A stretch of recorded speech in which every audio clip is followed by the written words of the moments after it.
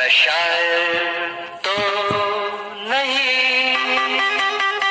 मैं शायर तो नहीं। मगर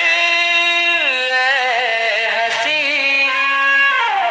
जब से देखा मैंने तुझको, मुझको शायरी